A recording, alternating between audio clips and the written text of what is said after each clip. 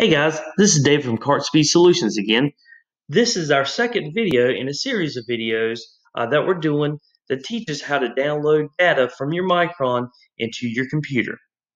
In the first video, we worked on uh, installing the Race Studio X3 program to your computer.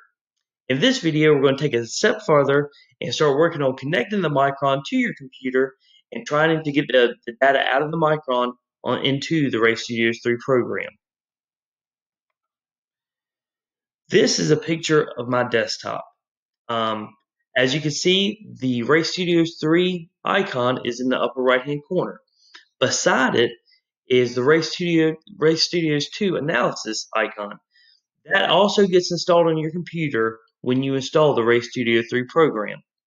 I've organized these icons in mind so yours may not look exactly same, but they are on there. Next, what you need to do is you need to double click the Race Studio 3 icon. When you double click the Race Studio icon, this is going to open up and this is going to be your home screen.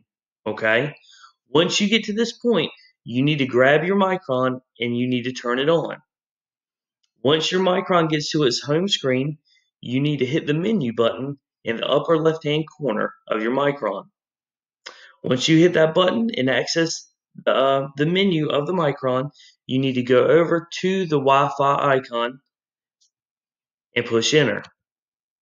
Once you've accessed the Wi-Fi menu, you need to make sure the Wi-Fi mode on your Mychron is on. As you can see on my Mychron, it is it is turned on, so this one is ready to go.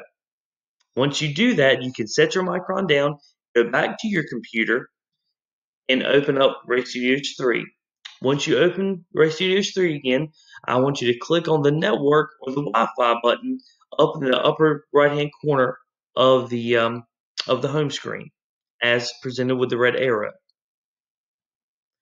When you do that, you're going to have a drop-down menu come up, and it's going to have a list of networks. The network that you want to click on is the one listed as AIM Mychron 5 as presented again with the red arrow. Once you click on that, your Mychron is going to connect to Race Studios 3. You'll know it's connected when in, in the lower left-hand corner of the home screen of Race Studios 3, it says Connected Devices. As you can see, Gavin's Mychron is connected to Race Studios 3. Once it's connected, you need to hit the Wi-Fi icon right beside it as presented with the red arrow. If, at this point, it is going to start communicating with your with your Mychron. Once you do that, it is going to pull up a download screen.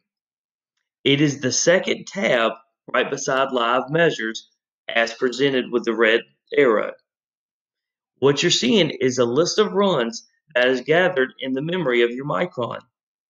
At this point, you need to choose the run that you would wish to download onto your computer and into the Race Studios 3 program um, by checking the box that you would like to choose.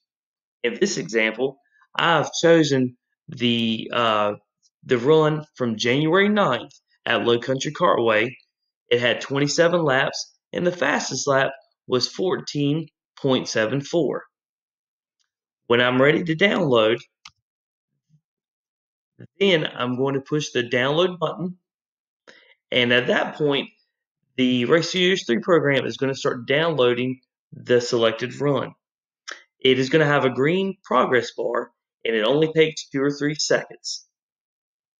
Once it is downloaded, the run will disappear from the screen in Race Studios 3 and it can be relocated in the Race Studio 2 analysis icon. Um, we're going to get a little bit more deeper into that in the next video, but now the information from your Mychron has moved from the Mychron now into Race Studios 3.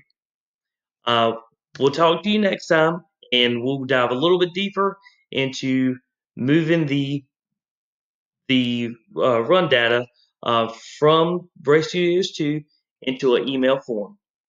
Thank you guys, and we'll talk to you later.